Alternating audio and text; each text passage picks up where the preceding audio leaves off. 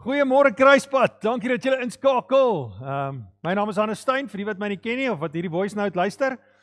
Ons ehm uh, is bly dat jy inskakel. Dankie dat jy luister.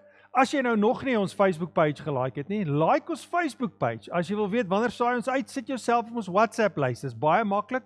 Gaan net na ons webwerf toe www.kruispadags.co.za en dan druk jy op die knoppie wat sê kry ons WhatsApp. Uh ons bid vir jou.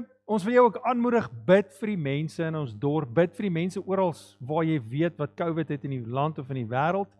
Kyk, wat kan jy doen om mense se se te help om verligting te bring as hulle siek is of as hulle dalk werkloosheid beleef of dalk net armoede beleef in hierdie tyd. Ons is in 'n ons is in 'n pandemie. Ons kan maak wat ons wil of dit nou iemand se skuld of dit niemand se skuld is nie. Dit gaan in die wêreld swaar. En ons as sy kerk het 'n verantwoordelikheid om ons lig te skyn. En ons wil uitdaag. Kom ons skyn ons lig. Is ons geleentheid kerk, kom ons doen dit. Dis wie ons is. Die Here het ons aangesteek om sout en lig vir die wêreld te wees. En kom ons wees dit in hierdie Ons is uh in 'n reeks wat ek getitel het Ouerskap en ek wil viroggend begin en 'n stelling maak en sê as jy weet hoekom jy iets doen, dan doen jy dit gewoonlik beter. Uh ek sien dit met my kinders. Hulle het toe hulle so begin skorrelgoed gewas het en ons het hulle nou mooi geleer wat 'n skorrelgoed was. Toe uh was hulle sommer skorrelgoed en gooi sommer so seep oor die goeters en vat sommer net die koue kraan en draai hom oop en was sommer die goed so vinnig onder die koue kraan net om dit so vinnig as moontlik klaar te kry en sit dit so in die droog raak. Laat dit met droog word. En toe gaan ek na hulle toe en ek verduidelik vir hulle hoe belangrik is warm water met genoeg seep wanneer jy skorrelgoed was. Anders bly daar vet agter op die bord en skep jy weer kos daarin. En dan kan jy siek word. En toe hulle dit eers begryp en dit verstaan, toe begin hulle dit beter doen. Dit laat dink my aan die storie van ou Betsy wat met Japie getroud is en hulle is die eerste week wat hulle saam bly in hulle nuwe huisie en sy besluit sy gaan vir hom lekker kook Sondagmiddag. En sy maak vir hom 'n skaapbout gaar. En hy staan daar in die kombuisbaan en kuier terwyl sy hierdie skaapboot skaapbout voorberei en sy druk hom vol gate en druk die knop vol huisies en gooi die speserye en sy vang 'n skerp mes en aan elke kant van die skaapbout sny sy omtrent so 2.5 3 cm aan elke kant van die skaapbout sny sy net heeltemal af. En toe sit sy die skaapbout in 'n pan in die oond. En hy staan, ja, op staan die storie so en kyk, hy sê, "Betsy, hoe kon jy dit gedoen?" Hoekom het jy daai stukke van die skaapbout afgeskryf? Sy sê man, dis wat hom so lekker maak. My ma het vir my geleer en dis hoekom ek dit doen. OK, en hy los dit toe nou maar daar. Maand later toe gaan kuier hy vir skoonma. En sy maak lekker Sondagmiddagete. Raai wat? Skaapbout.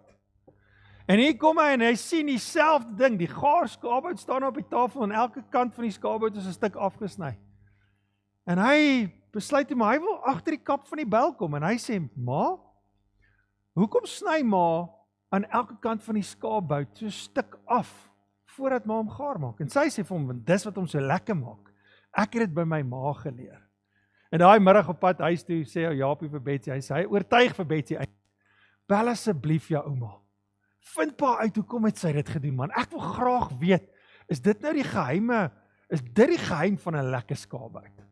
En hy oortuig vir Betsy en so op pad huis toe, so by die huis kom toe bel sy haar ouma en sê: "Ouma, hoe gaan dit? Is nie lekker my kind?"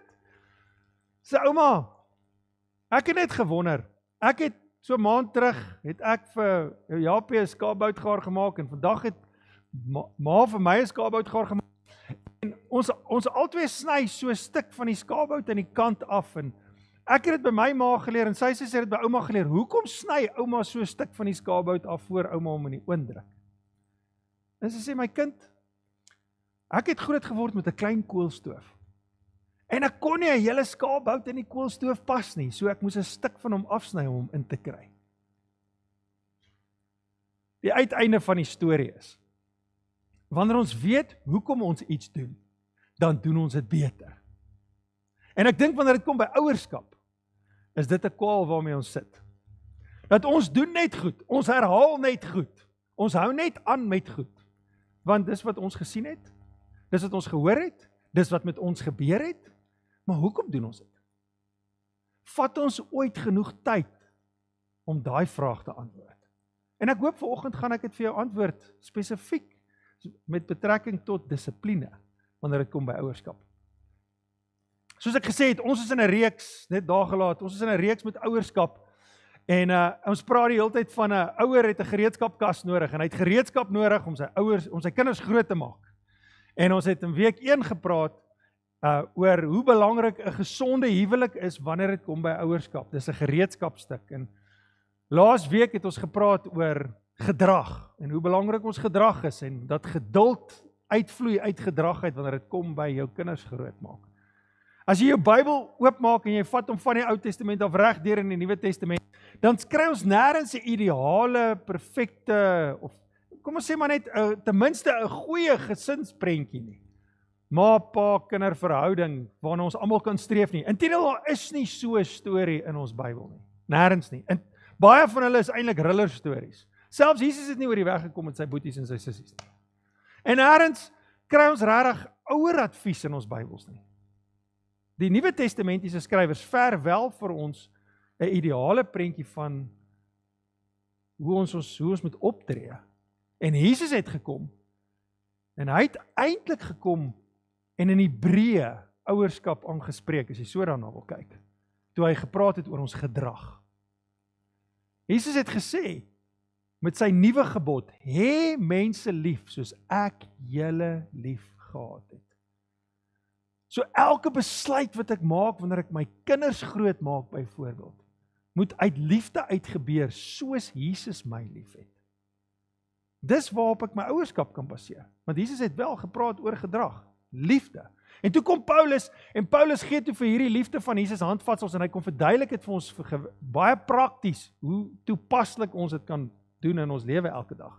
En laas week het ons al gekyk na die heel eerste een, drie woordjies. Liefde is geduldig. As jy dit gemis het, wil ek jou aanmoedig om kyk het. Ek kan nie deur die eerste en die tweede week se goed weer gaan nie. Daar's net te veel om te sê. Maar ek glo dit gaan vir jou van nut wees. Ek het selfs ouens wat nog nie getroud is nie of wat nog nie kinders het nie wat sê my perspektief is heeltemal anders as gevolg van wat hulle hoor in hierdie reeks. En ek wil jou uitdaag. Hierdie reeks is nie net vir ouers nie. Hierdie reeks is vir ouers, is vir oupas en oumas ook. Dis vir ma's en pa's natuurlik. Dan sit vir iemand wat in 'n mentorrol 'n uh, rol is of in 'n bestuursrol by die werk is. 'n Besigheidseienaar. Hierdie hierdie verbreede mense perspektief en gee vir 'n ou 'n beter begrip van waaroor gaan dit om iemand te moet onderrig. So. Ons gaan vandag aan met wat Paulus laasweek mee begin het. Hy het gesê liefde is geduldig. As jy dit nie gesien het nie, gaan kyk dit. Vandag wil ek afskop en ek wil aangaan met waar ons laasweek geëindig het. Paulus het gesê liefde is vriendelik. Nou vriendelik is baie keer 'n teken van swakheid in baie mense se oë. Dis waar die Engelse gesegde vandaan kom, do not mistake my kindness for weakness. Vriendelikheid dink ons mense wat vriendelik is, smeer net die ongemaklikheid toe. Hulle weier om die realiteit te konfronteer en dan lag hulle dit maar net weg en wees maar net vriendelik. So hulle is eintlik maar net swak, hulle is nie bereid om dit te hanteer nie. Maar as jy mooi daaraan dink, is vriendelikheid eintlik vir die mense wat Jesus volg 'n teken van sterk wees. Want om vriendelik te kan wees ten spyte van swak omstandighede, vat nogal selfbeheersing. En iemand wat nie wat nie selfbeheersing is nie, is net kwaad en frustreerd en loop met 'n suur gesig rond. Vriendelikheid is eintlik teken van sterk wees en om in die middel van moeilike omstandighede vriendelikheid uit te deel is om jou krag te deel met die mense rondom jou. Dis wat liefde doen. Vriendelikheid is om jou krag te deel. Nou ouers, dat ek net hierdie duidelik sê vandag. Ons woorde dra ongelooflik baie krag in ons kinders se lewe. Ons woorde het baie gewig. Maas, julle elke woord is 300 kg en vir een of ander rede is pa se woorde 500 kg. Maar ons woorde dra ongelooflik baie gewig in ons kinders se lewe. Dis hoekom ons nie kan bekostig om eintlik sarkasme in ouerskap in te bring nie. Want jy weet nie hoe diep dit insink in hulle lewens is nie. Sarkasme is eintlik nie veronderstel om te bestaan van 'n ouer af na 'n kind toe nie. Dis te gevaarlik. Ja, dit was net 'n grappie. Nou moet jy onthou, as jy nie lekker voel nie, dan projekteer jy dit op jou kinders en ons smeer dit toe met dit was net 'n grappie. En jou woorde dra gewig. Kom ons gebruik 'n voorbeeld wanneer dit kom by vriendelikheid. Vriendelikheid het baie te doen met omstandighede, want ons omstandighede bepaal baie keer hoe gelukkig ons is. En in 'n huis waar daar ouerskap toegepas word, is omstandighede nie altyd goed nie. En wat doen ons as ouers dan? Wat maak ons? My kind kom in die huis in met 'n dissiplinêre briefie. Wat is my eerste reaksie? Hoe reageer ek? Gewoonlik is dit negatief. Gewoonlik wil ons hulle uitsorteer. Gewoonlik sien ons dit as 'n oomblik om hulle af te rig of op te voed. Dis gewoonlik wat ons doen. Maar wat gaan gebeur as jou kind instap met die dissiplinêre brief en jy tree heeltemal verbaas op? My my magtig my kind. Jy het nie jou huiswerk gedoen nie. En nou, wat gebeur nou? Nee, hulle het vir my dissiplinêre punte afgetrek. Nee, ek het nou detensie gekry. En dan reageer jy. O. Weet jy wat? Ek ek weet jy kan. Ek weet jy kan hard werk en weer daai punte terugkry. Ek weet jy kan jy ek weet jy kan. Ek weet jy kan hierdie detensie deurgaan en jy kan weer op die pad kom en jou huiswerk doen soos jy moet. Ek weet jy kan. Wat dink jy gaan jou kind ervaar in daai oomblik? Jou kind gaan beleef hoe jy sy kant kies ten spyte van wat hy verkeerd gedoen het of sy verkeerd gedoen het. Meeste van die tyd is ons almal in elk geval reeds bewus van ons tekortkominge.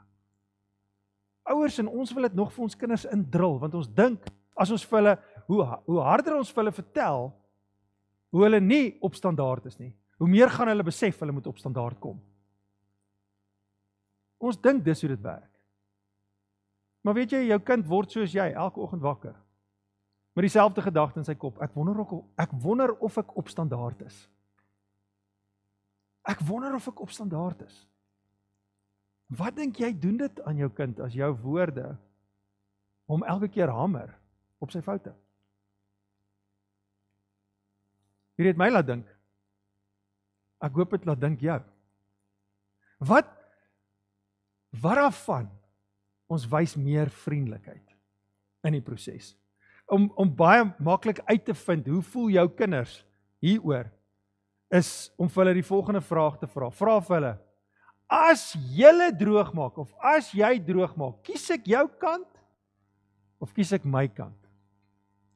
Wel, ek het met 'n skok agtergekom my kinders voel ek kies my kant. Maar dis baie keer wat ons doen voel jou kind jy kies sy kant. Ek praat nie van jy kies sy kant, jy praat sy slegte gedrag goed nie. Ek praat van ek kies om steeds vriendelik te wees ten spyte van die nagevolge wat my kind beleef op sy swak gedrag. En sê dan vir hom of motiveer hom, inspireer hom om beter te doen. Om vir hom te sê, jy kan dit doen. Ek weet jy kan. Hou net aan. Vriendelikheid.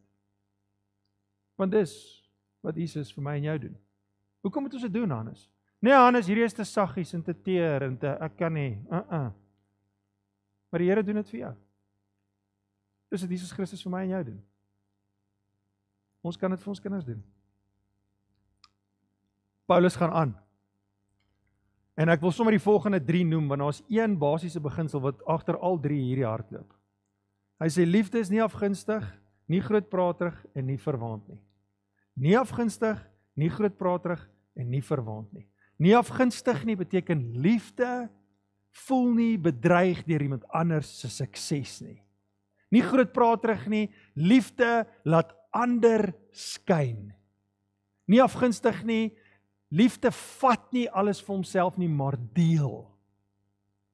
Die beginsel wat hier in die agtergrond hardloop is ander mense eerste. Die beginsel in die agtergrond is ek eerbiedig 'n volgende verhouding. Verhouding is belangrik. Verhouding is vir my 'n waarde. Nou as daar iets is wat ek en jy as ouers in ons lewe moet doen, is dit om 'n kultuur van eerbied in ons huis te ontbied. Dit rym. Om 'n kultuur van eerbied te skep waar binne ons kinders groot word. Hoe doen ons dit? Wat is dit om eerbetoning te doen? Dit's 'n hoë mate van respek.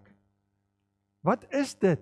Hoe doen ek dit? Toe ons gaan swat het in ons eerste jaar, toe gaan swat ons op 'n kampus, waar ons almal op die kampus gebly het en die kampus se reëls was as jy besig was om in 'n vertrek te sit en iemand stap in die vertrek in, dan staan jy op en dan groet jy die persoon voor jy weer gaan sit. As jy die persoon reeds gegroet het en hy kom vir 'n tweede keer, dan staan jy hom net op as 'n teken van ek erken jy is hier.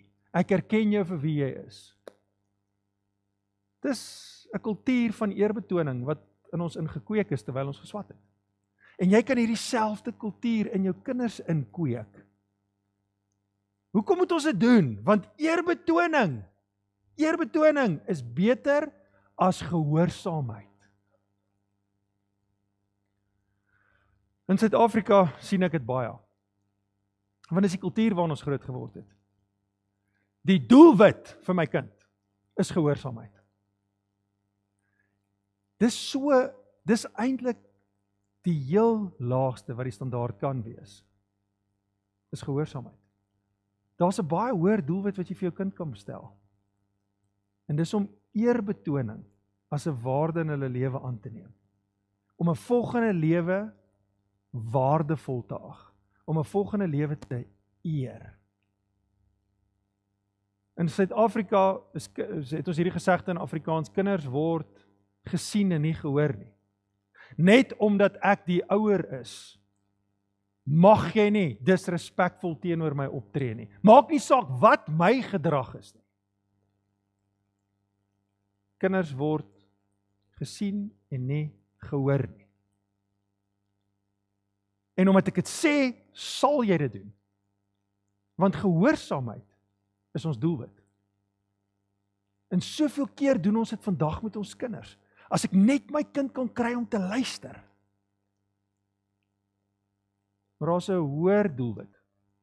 Eerbetoning. Eerbetoning. Paulus skryf in Romeine 12 vers 10. Hy skryf: "Wees hartlik teenoor mekaar met broederlike liefde. Die een met die ander voortgaan in eerbetoning." Eerbetoning is beter as gehoorsaamheid. En kom ek gee vir jou 'n voorbeeld waar 'n kind byvoorbeeld gehoorsaam is, maar nie eer betoon aan sy ouers nie. Jy sê vir jou tiener, jy's vanaand jy jy is 9 uur by die huis. Jy's 9 uur by die huis. En die volgende oggend, half 9, kom jou kind by die huis. En jy sê vir jou kind, maar ek het mos gesê jy moet 9 uur by die huis wees. En hy sê vir jou, mamma het nie gesê 9 uur vanaand of 9 uur môreoggend nie. Jou kind was gehoorsaam maar hy het nie die verhouding geëer nie. Eerbetoning is 'n hoër standaard. En om 'n kultuur van eerbetoning in ons huise te kweek, is wat ons nodig het as ouers om te doen. En hieroor wil ek met ons almal gesels. Hoe doen ons dit? Hoe doen ons eerbetoning in ons huise? Daar's 'n paar praktiese maniere wat ek graag met julle wil deel vanoggend. Niemand gaan sit aan die etenstafel nie voor mamma gesit het nie of voor ma gesit het nie. Staan agter jou bord kos, staan agter jou stoel, agter jou bord kos en sit eers as ma sit. Want wat gebeur as almal gaan sit sodra ma die borde kos neersit op die tafel? Ons pesel en ons eet so 'n bietjie. Maar dit dit kweek 'n kultuur van eerbetoning in jou huis. As jy in die oggend opstaan, sê jy vir almal in die huis môre, of jy nou die ma of die pa of die kinders is. Want dit is 'n teken van eerbetoning. Ek sê vir almal, vir almal môre. kom ons maak die huis aan die kant. Kom ons hou die huis aan die kant sodat almal wat hier bly dit kan geniet om hier te beweeg en hier te leef. Kyk vir jou ma terwyl sy met jou praat. Kyk vir jou pa terwyl hulle met jou praat. Luister terwyl hulle met jou praat. Dis hoe jy 'n kultuur van eerbetoning want jy eer die persoon wat jou staan. Hierdie kom nie vir ons natuurlik nie. Inteendeel, presies die teenoorgestelde kom vir ons natuurlik, want die persoon met die hoogste waarde in my lewe is ek. Hoekom moet ek nou vir jou kyk en vir jou luister? Hoekom moet ek jou ag? Ek soek my kamer met my bed met die kos waarvan ek hou om my maag vol te maak. Dit kom nie vir my en jou natuurlik nie.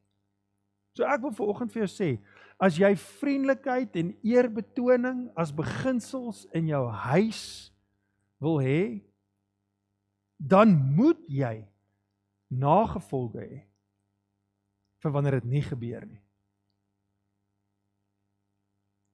Daar moet nagevolge wees.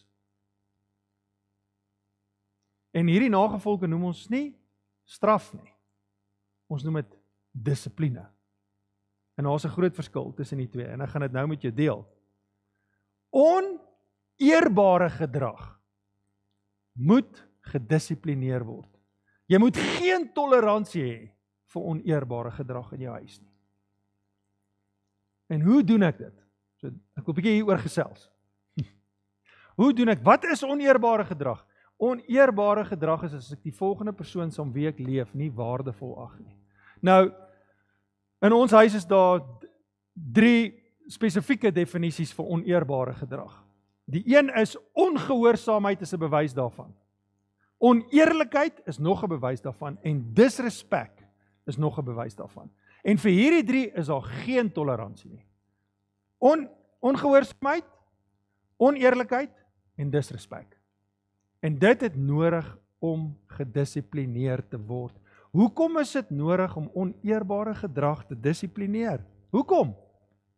Want oneerbare gedrag maak verhoudings seer dit breek vertroue af. Onthou julle ek het gesê ons pas dissipline toe in ons huis, maar ons weet nie altyd hoekom nie. Hoekom doen ons dit nie? As ek nie 'n volgende persoon eerbiedig nie en ek maak wat ek wil soos ek wil, maak ek die verhouding tussen my en daai persoon seer. En dit dit bring 'n skuld skuldenaar verhouding. En ek kan 'n praktiese voorbeeld is My kind het vir my gelieg. So nou kan ek my kind nie vertrou nie. Die skaal is nie gebalanseer nie. Ons het nodig om hierdie te herstel om vorentoe te beweeg. Om vorentoe te te beweeg. En hoe doen ons dit? Wat ons gewoonlik doen is, is ons straf. Ons vat 'n PlayStation weg, ons vat goed weg. 'n Selfone, tablets, PlayStations. Ons isoleer hulle. Ons gee hulle pak slaag ons uh laat hulle in die hoekie sit. Ons gee vir hulle uitskryfwerk. Of ons gee vir hulle taakies om die huis. Die vraag is die verhouding het skade gelei. Gaan die PlayStation wat weggevat word die verhouding wat skade gelei het herstel? Logies maak dit glad nie sin nie. Gaan die pak sla help dat eerbetoning in ons huis bevorder word. Want dis wat ons doen. Ons straf. Ek wil net iets sê oor straf en dissipline. Weet julle dat Jesus is gestraf sodat niemand nooit weer hoef gestraf te word nie? Hy het gesê ek sal die pak slaaf vat vir julle oortredinge sodat julle dit nie hoef te vat nie. Nou sê ek vandag daar's iets fout met pak slaag glad nie. Inteendeel. Hoe jy 'n 2-jarige kind opvoed wat op sy ouma se banke spring en 'n 8-jarige kind opvoed wat op sy ouma se banke spring is twee verskillende maniere. Die 2-jarige het 10 teenoor 1. 'n Hou op die bout nodig. Maar die 8-jarige wat kan dink en redeneer vir wie jy kan verduidelik waaroor dit gaan, kan jy op 'n ander manier meer doeltreffend dissiplineer. Meer doeltreffend. Dissipline is altyd goed vir ons. Ons wil almal altyd meer hê daarvan. Want as ek meer daarvan gehad het, sou ek 10 teenoor 1 gesonder gewees het in my liggaam. Sou ek 10 teenoor 1 meer geweet het want ek sou meer gelees het. Sou ek 10 teenoor 1 my finansies beter bestuur het en gelukkiger gewees het finansiëel. Ons almal wil meer daarvan hê. En ouers is verantwoordelik nie om hulle kinders te straf nie, maar om hulle te dissiplineer. Dissipline is nooit dit kom nooit lekker nie. Dis nooit lekker om dit toe te pas nie, maar dit het, het altyd goeie vrug.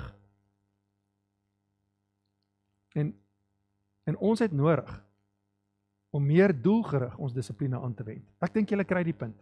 Nou, hoe hoe weet ek hoe om meer doelgerig my dissipline aan te wend? Wel, daai antwoord is maklik as jy die volgende vraag antwoord. As oneerbare gedrag die verhouding seer gemaak het, Watse dissipline moet ek toepas om doeltreffend vir my die regte uitkoms te gee? Watse dissipline? Dissipline wat die verhouding herstel. Dis 'n een eenvoudige antwoord. Soos ek nou-nou gesê het. Ek dink in die kultuur en die Suid-Afrikaanse kultuur waarin ons leef, is ons so straf georiënteerd Ons straf ons kinders. Jy het jou boetie seer gemaak. Kom nou dat jy 'n pak slaag kry. So omdat jy seer gemaak het, gaan jy nou seer kry. Dit klink eerder soos of ons wraak neem. Oog vir 'n oog, tand vir 'n tand. Is dit regtig 'n doeltreffende dissipline metode? As jy so daaraan dink. Die verhouding het seer gekry. Hoe kan ek die verhouding herstel? In daai rigting moet ons dissiplineer. So, ek dink julle vang al waantoe ek op pad is. Die manier wat ons gewoonlik vir ons kinders leer as die een die ander en seer maak, is sê jammer. Jammer boetie, jammer sussie. Nou in baie gevalle is daai jammer nie noodwendig Mense het dalk al na jou toe gekom in jou lewe en vir jou kom jammer sê. Kom ons praat nou buite die huis, buite jou gesinsverband. Wat waar die verhoudingskade gelei het, maar daai jammer was meer van 'n belediging as enigiets anders. Dis moontlik dat dit gebeur. Want jy kan jammer op die regte manier sê of jy kan net jammer sê want jammer moet net gesê word. Dalk het jy al jou vrou of jou man kwaad gemaak en hulle is nou vies vir jou en hulle is ongelukkig met jou en jy sê jammer. En 2 dae later is hulle nog steeds nie reg nie.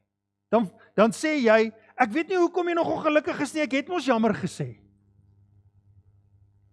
Al wat dit beteken is, jy het nog nooit die kuns aangeleer van 'n verhouding herstel nie.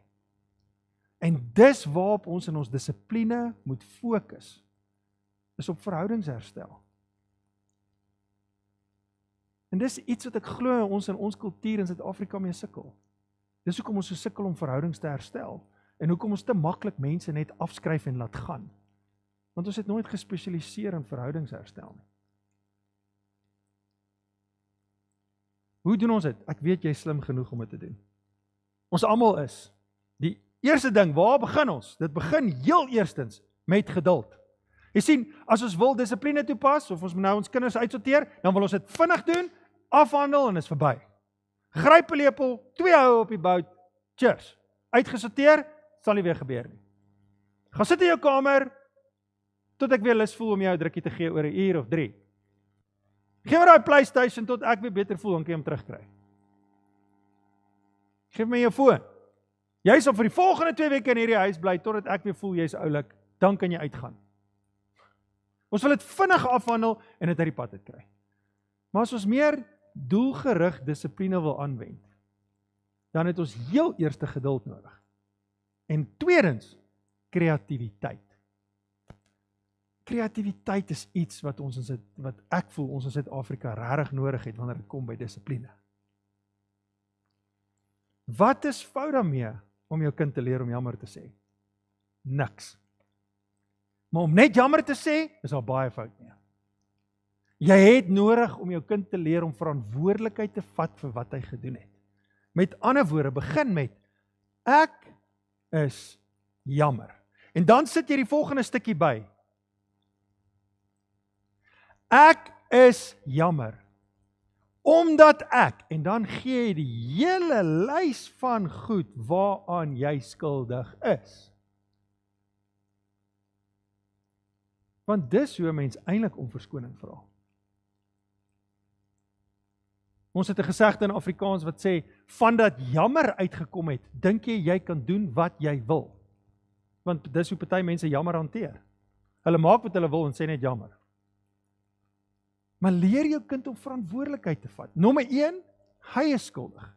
Ek is jammer. En dan, waarvoor is jy jammer? Ek is jammer want vul in en dan sit jy die volgende stukkie as jy wil by. En glo my, kinders hou niks van hierdie gedeelte nie. Is daar iets wat ek kan doen om dit beter te maak? Is daar iets wat ek kan doen om dit beter te maak?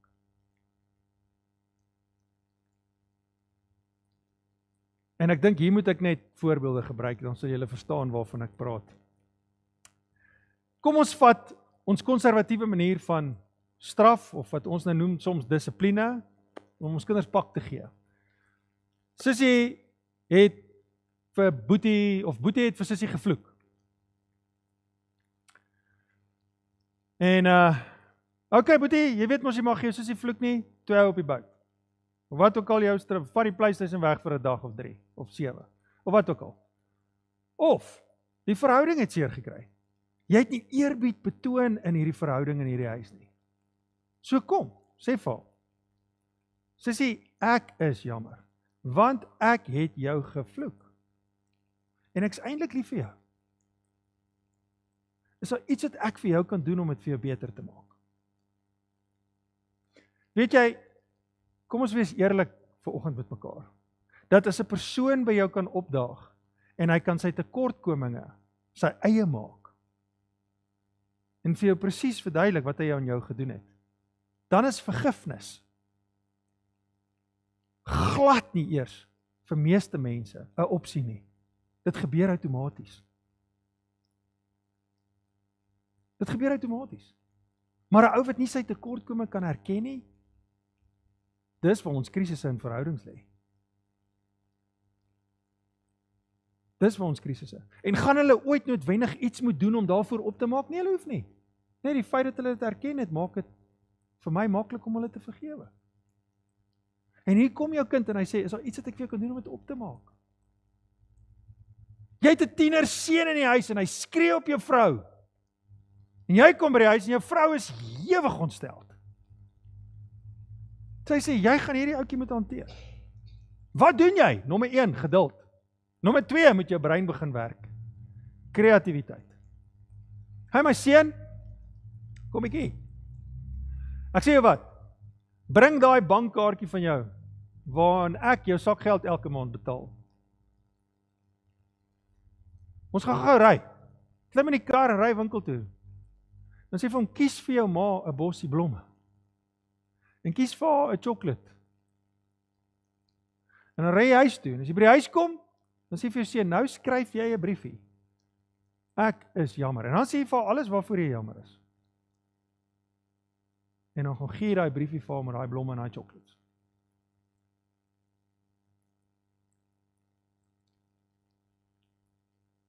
Wat dink jy gaan daai effek op jou kind hê in plaas van hom om te hok vir 'n week of 2 of 'n maand? Hy moet sy sak geld gebruik. Ek kan aanhou om voorbeelde te gebruik.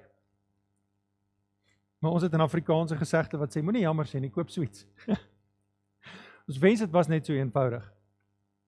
Maar die feit van die saak bly is, ons het nodig om meer doelgerig en effektief ons kinders in 'n rigting te dissiplineer en hulle nie net te straf nie omdat straf nodig is nie.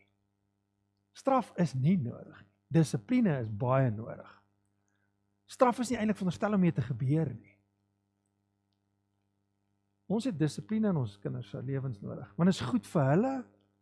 Hulle moet beleef dit is ter wille van hulle. Ons kies hulle kant. En elke keer as jy vir jou kind sê maar jy kan. Ek gaan jou help en jy kan. En jy gaan geduld wees. En jy gaan 'n bron van vriendelikheid wees.